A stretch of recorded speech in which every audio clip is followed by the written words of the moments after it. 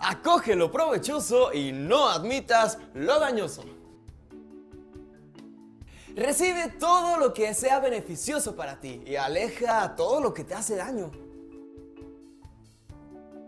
Hola familia bonita del dicho, yo soy Luis Antonio Aguilar. Hola familia bonita del dicho, soy Emanuel Cano y los invito a que no se pierdan este intenso y muy bonito capítulo. Familia hermosísima del dicho, me da mucho gusto saludarlos. Yo soy Ana Cepinska. Yo soy Giovanna Montalvo y no te puedes perder este dicho por las estrellas.